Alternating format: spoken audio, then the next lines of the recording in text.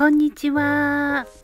今日はヘルシーなもやし料理を紹介したいと思います。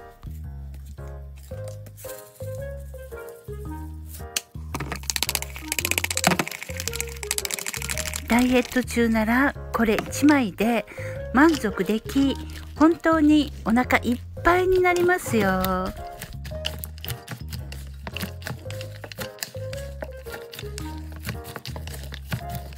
そしてタレにニンニクをたくさん使うので本当に美味しいです。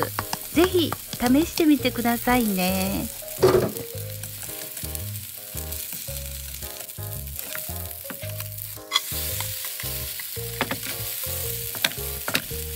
きつね色に焼けた色がとっても食欲をそそりますよね。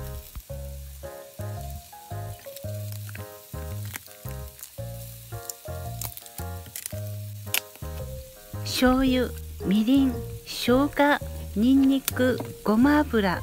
本当にこれだけで美味しいタレができます。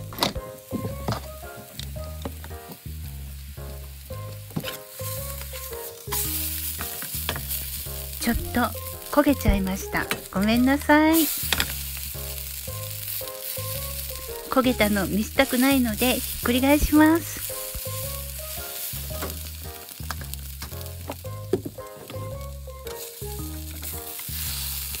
今回は半分にしましたがこれ1枚食べても約200カロリーです。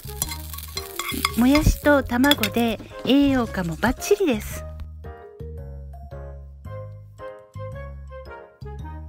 よければチャンネル登録よろしくお願いします。